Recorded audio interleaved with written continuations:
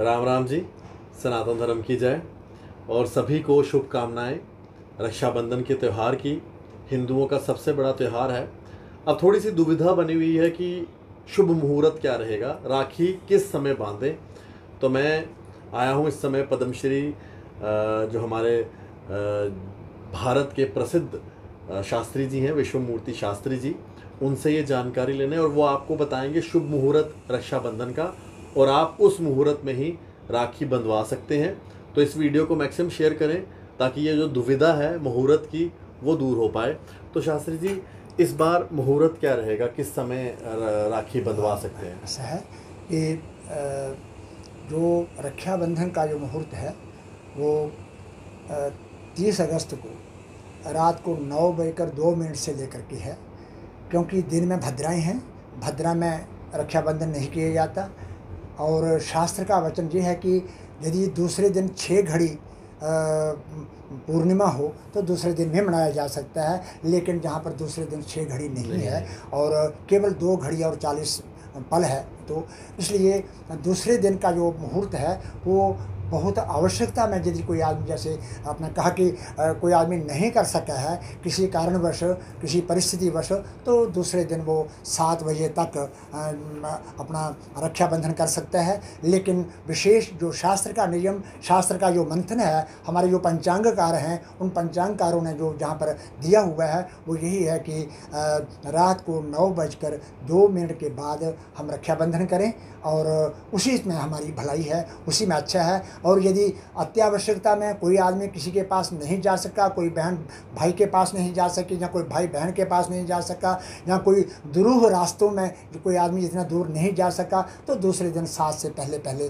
वो रक्षाबंधन कर लें और यही हम सब के लिए उपयुक्त रहेगा। इसलिए बहनें जो हैं ये अच्छा ये होगा कि अ, यदि यदि कोई उसमें इस प्रकार का ऐसा हो कि भाई हम बिना खाए हुए जहाँ पर रक्षाबंधन करते थे तो हम कैसे करेंगे? आप फलाहार कर सकते हैं। फलाहार भी व्रत में ही माना जाता है और फलाहार कर, दिन में। और रात को रक्षाबंधन किया भाई को, भाई की दीर्घायु की कामना की मारकंडे जी से प्रार्थना की, सप्त ऋषियों से, सप्त चिरंजीवियों से प्रार्थना की और ये करके रक्षा सूत्र जो है वो भाई के कलाई में बाँध लें।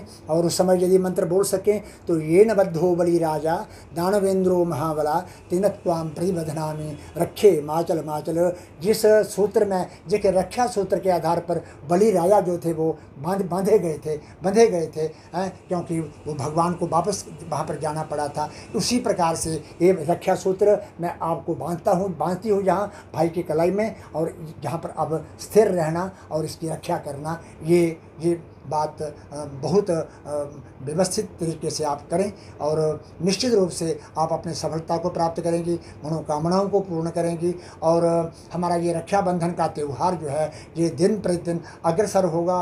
अब ये बंधन जैसे कि मैंने पीछे बतलाया, लेकिन वो सारे के सारे बंधन जो थे, वो प्रारंभ हुए, रक्षाबंधन हुए, लेकिन ये त्यौहार जो है, अब भाई बहन का जो त्यौहार है, ये बहुत एक साकार त्यौहार और पूरे भारतवर्ष में और हर वर्ग के लिए, हर जाति के लिए ये त्यौहार है।